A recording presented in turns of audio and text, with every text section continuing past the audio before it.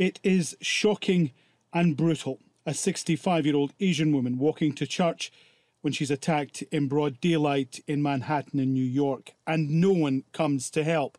As the man stomped on her head, police say he made several anti Asian comments. It's the latest in a growing series of attacks on Asian Americans, this assault considered a hate crime. It is absolutely terrifying because it makes all of the Asian American community, you know, say, you know, with resolve, we're not to leave our homes. I mean, that's ultimately what is happening. I am I am angry. I am, you know, all the emotions. It's never the, you know, the the frustration, the anger, not, none of that has subsided because the attacks haven't subsided.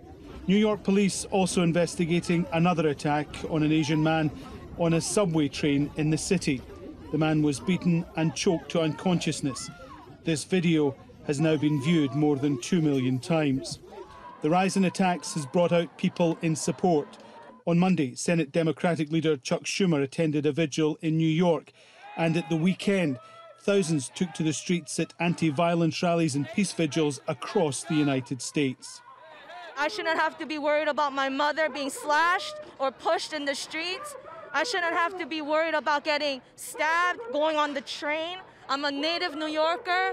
And for the first time in my life, I carry a knife. Uh, I carry around a hammer in my bag just in case I'm going to get attacked. Police in New York have issued this picture of the man they want to interview in connection with the attack on the 65 year old woman.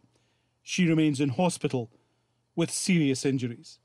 Alan Fisher, Al Jazeera.